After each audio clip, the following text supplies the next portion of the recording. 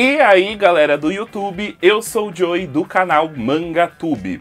E galera, dessa vez com vocês mais um vídeo de review, trazendo a review de um mangá lançamento da editora JBC, e nós estamos falando de Alice in Borderland.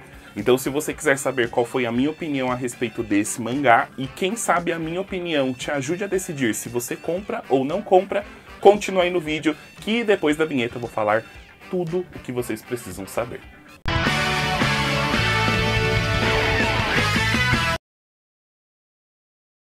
Antes de mais nada, queria agradecer a loja Mundos Infinitos, que foi quem fez o envio aqui do mangá pra gente. Então, ó, beijão aí pra Mundos Infinitos. E lembra, se você quiser fazer suas compras, o site da Mundos Infinitos está aí na descrição do vídeo. Eles têm loja física, inclusive você pode tanto fazer a sua compra no site, se preferir, e buscar lá na loja física, ó. Os descontos valem super a pena. E agora sim, nosso resumo da obra, sem dar spoilers, né? Do que, que se trata Alice em Borderland. O Arisso é um estudante fracassado que um dia acaba indo parar junto com dois amigos em uma versão do seu próprio mundo, só que dentro de um Battle Royale, onde para sobreviver ele precisa passar por jogos. Porém, esses jogos não são nada simples, né? Eles envolvem mortes. E aí, será que um fracassado como o Arisso vai conseguir sobreviver neste mundo? Aí, só você lendo para saber. Gente, que mangá sensacional. Eu amei demais. Sabe aquela leitura que você, por nada nesse mundo, você quer largar o mangá pra parar de ler, você quer continuar, você fica, meu Deus do céu, eu preciso, está acabando o mundo, destruindo tudo atrás, no fundo. Ai. E você lá lendo tranquilamente. Então, foi essa sensação que eu tive com esse mangá.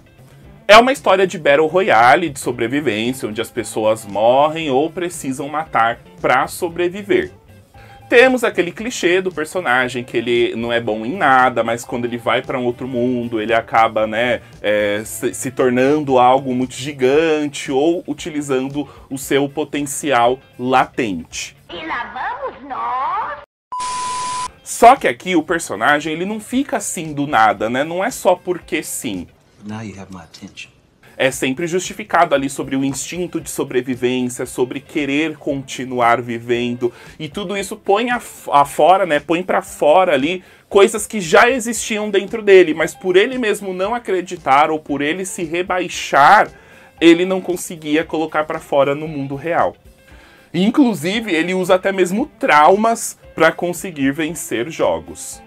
Os jogos também são bem legais, né? Eles não são assim só morte a esmo, né? Tipo, ai, mate, tal, tal, tal, tal, tal. Não, eles são jogos de inteligência, né? Eles são jogos que é, requisitam algum tipo de capacidade do ser humano. Então tem os jogos de inteligência, tem os jogos de capacidade física. Então acaba, como acaba sempre mesclando, a gente não fica na mesmice as informações sobre o mundo, né, Borderland ainda não foram todas jogadas pra gente, então acaba também instigando essa curiosidade. Só que assim, tem histórias em que eu acredito que a apresentação precisa ser feita rápida e tem mangás que não, né? Tem histórias que não. Essa daqui eu não senti tanta falta justamente por isso, por ser uma história frenética. Você consegue se prender ao que está sendo apresentado para você, né? Você, você se fixa ali na história sobre o que está acontecendo, você fica tentando ali desvendar junto com os personagens, torcendo para que eles consigam, ou tentando imaginar como que aquele personagem vai sair daquela situação. E o bom assim é que também é um mangá que te pega de surpresa, você não acaba caindo sempre no clichê ou na mesmice ou prevendo o que, que vai acontecer. O autor ele sempre consegue te surpreender. Surprise, mother Acredito eu que a história não vai assim se tornar algo gigante em questão de roteiro. Eu acho que não vai fugir muito de mostrar pra gente os personagens é, evoluindo e crescendo a cada jogo de sobrevivência. Mas é igual eu falei, se os jogos continuarem divertidos dessa forma, se eles não ficarem é, repetidos, isso vai ganhar. E vai ser aquele tipo de história que vai só ficar melhor a cada volume que passa. Os traços, eles são bem diferentes. Então eles são traços bem assim cartunescos, né? É um traço bem puxado, é bem diferente. Pode ter gente que não goste, que prefira traços mais realistas para esse tipo de história. Eu particularmente curti. Sobre a qualidade, qualidade padrão da editora JBC. Então nós temos um mangá com capa cartonada e fosca. E também a gente tem alguns detalhes né, nessa laminação prateada aqui nas bordas, que eu acho que também fica bem bonito. As páginas são em papel pólen natural, aquele novo papel que a JBC vem utilizando. Não tem nenhum tipo de problema com transparência é, excessiva e a encadernação também está bem boa, mangá confortável de ler, não tem página gritando, soltando nem nada. É uma obra ainda em andamento no Japão, com 18 volumes lançados. Aqui no Brasil, a nossa edição segue o formato 2 em 1. Então, em vez de 18 volumes até o momento, nós temos aí 9 volumes que podem ser lançados até o momento. Só que ainda não tem uma periodicidade definida. Custa a preço de capa R$ 54,90 é uma obra voltada para um público mais 18, né? Ela é bem violenta, tem bastante violência é, explícita, enfim. Então, para quem também curte mangás mais assim, já pode ser uma boa pedida. E eu vou deixar o link aí da Amazon na descrição, caso você queira adquirir a sua edição de Alice in Borderland. É, lembrando que sempre que você faz as compras pelo nosso link, você ajuda pra caramba o nosso canal. Vou deixar também o link da lojinha do Cooper na descrição para você comprar saquinho de polipropileno e já proteger o seu mangá. Lembra de usar o nosso cupom, que é o loja MTube, que te dá 5% de desconto nas compras em saquinhos de polipropileno.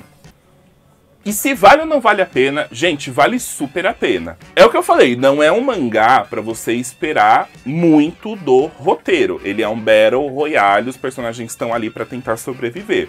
Mas você tem construção, né, evolução de personagem, você tem jogos muito bem estabelecidos, você tem o clichê, mas o clichê muito bem colocado e é uma leitura divertida, apesar de violenta, né? É muito estranho a gente falar que uma violência é divertida, mas eu acho que é uma leitura divertida. É aquele mangá que você pega e você consegue ler tranquilamente do começo até o final e te dá até aquela ansiedade para continuar lendo para ler os próximos volumes.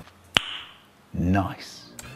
Bom, pessoal, essa foi a minha opinião a respeito de Alice em Borderland. Eu espero que vocês tenham gostado. Se gostaram, já sabe, deixa o gostei no vídeo, se inscreve no canal se você ainda não for inscrito, clica no sininho de notificação, coloca lá para receber todas as notificações, porque assim, sempre que sair um vídeo novo, você vai ser avisado. Caso queira também ajudar o canal de alguma outra forma, clica aí no botão Seja Membro, né? Vem conhecer os benefícios, vem fazer parte do nosso clube de membros. Caso queira ajudar de alguma outra forma, pode também fazer uma doação por Pix, tanto no QR Code aparecendo aí na tela ou na chave que está na descrição. Ou usar a própria ferramenta do YouTube, a Valeu Demais, que você faz um comentário com doação e seu comentário fica destacado no vídeo. Põe nos comentários, né? Você vai comprar, não vai comprar, gostou, não gostou, enfim. Põe aí o que você quiser. Bom, galera, muito obrigado por assistirem o vídeo até aqui. Nos vemos na próxima. É isso aí, valeu, falou e tchau! Onde, para sobreviver, ele precisa... Não.